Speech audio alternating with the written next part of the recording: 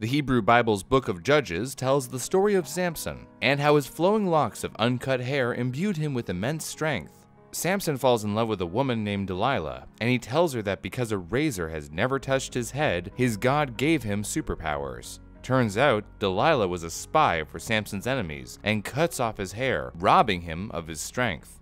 Huh. Obviously, hair can't give us superhuman strength. Right?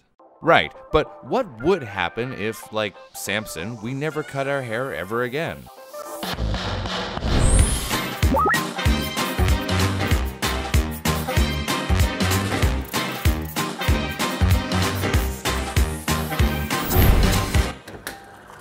We should start by talking about what hair actually is and how it works. Human hair is composed of three different parts the cuticle, the cortex, and medulla. The cuticle is the outermost layer of hair and is made entirely of shingle like dead cells. Next is the cortex, which is made up of a fibrous protein structure called keratin that gives hair most of its strength. Keratin is also the protein that makes up horns, feathers, claws, hooves, and nails. The cortex is also where we find melanin, which determines the color of the hair depending on how much or how little is present. Lastly, the medulla is the soft, semi-hollow center of the hair shaft. Interestingly enough, it isn't present in fine and blonde hair. Conversely, thick and coarse hair usually has a medulla, but there are exceptions to the rule. Hair grows out of the follicle and is formed at the base in the hair bulb. Cells multiply and divide inside the bulb, creating the hair shaft, pushing up through the follicle and out into the open air, where we can brush, dye, or style it however we like. So, what would happen if we simply decided one day to stop cutting it altogether? Would it keep growing forever? I'm sure that hairdressers would recommend frequent trims to maintain hair health, but they keep trying to upsell me on charcoal hair mousse, so they're not exactly impartial.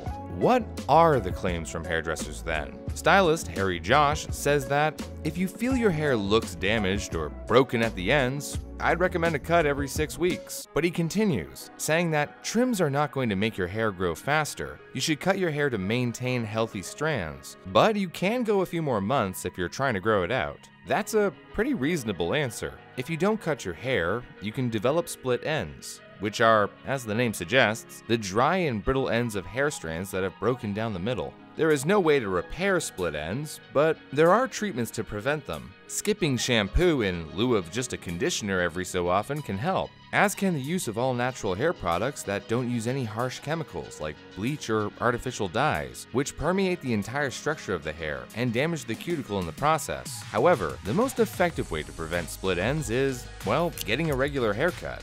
So, other than split ends, there isn't really any other detriment to not cutting your hair. And if that isn't a problem for you, there's nothing stopping you from letting your mane grow out Samson style.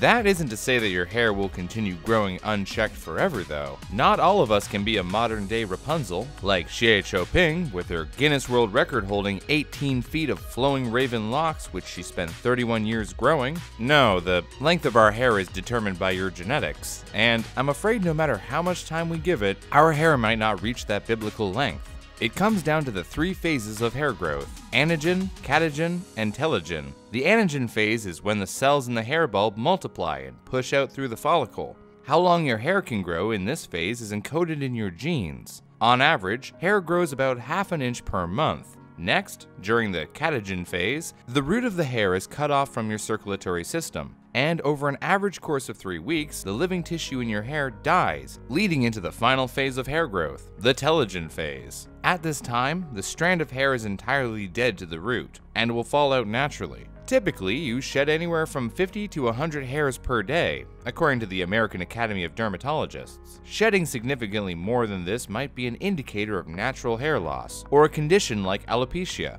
that being said, at any given time, there are new hairs growing to replace ones that we lose naturally. This shedding is the reason why our hair won't necessarily grow out forever. It's also the reason why shaving or cutting your hair won't speed up its growth. The maximum length of your hair depends on the anagen phase. The longer this phase, the longer it will grow to, but it's not indefinite. Even if you decided to never cut your hair again, you won't necessarily grow long, Sephiroth-length locks. This is the same reason why the hair on our bodies and faces don't grow to be as long as the hair on our heads. The three-phase cycle is distinctly shorter for hair not on our heads, and their growth is triggered by hormonal changes in puberty. For some of us, growing out our hair is a representation of our commitments. Specifically for members of the Sikh faith, a religion from the Punjab region of India, refraining from cutting one's hair is a visual cue for those around them of their commitment to their culture and faith, called Kesh. One of the founders of the Sikh faith, Guru Gobind Singh, gave his followers kesh, uncut hair, and the turban as a uniform of their religion. Sikh men usually wear their hair in a top knot or a bun under their turban. Sikh women are also called to wear turbans for kesh, but many Sikhs practice different level of commitments to their faith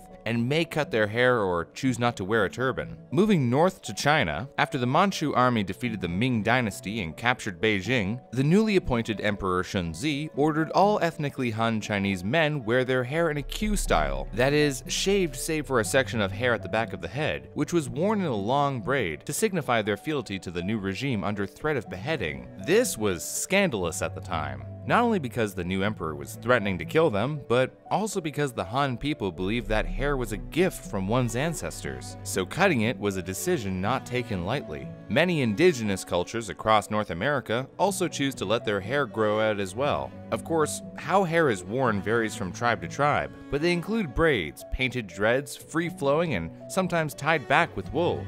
But regardless of style, long hair is seen as a representation of power and connection to the land. Sadly, throughout Canadian and American history, Indigenous people's hair have been the locus of horrible discrimination. Starting in the 1870s, thousands of Indigenous children were removed from their homes and put into schools where they were cut from their culture, their families, and by extension their hair, in an effort to civilize them.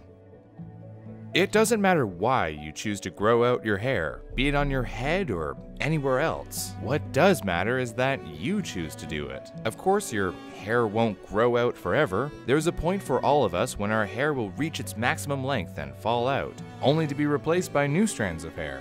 But whether we decide to see what that length is, or if we want to cut it down to the scalp, is up to us, and only us. We don't need a religious or cultural explanation why we like our hair to flow long and free like the wind. In fact, we don't need any explanation at all. A good friend once said this to me, and it really stuck. As long as you like you, I like you. So go for it, friends. Let's see how long we can get. You know what? I think I'm gonna take the plunge. I'm, I'm gonna finally get me some bangs. Yeah? Do you want help? I've been cutting my own hair for years, and it took me a long time to get really good at it. Yeah, um, your hair does look great, Brew, but but I think I might stick to online tutorials and um, I guess I'll see what they say. Okay, well, feel free to give me a shout if you want help. Sure, Brew, I'll, I'll do that. I'll, I'll definitely do that. Oh, wait, uh, I, I just remembered, no, oh no, chill, not, not his tutorials. I, I didn't think you meant,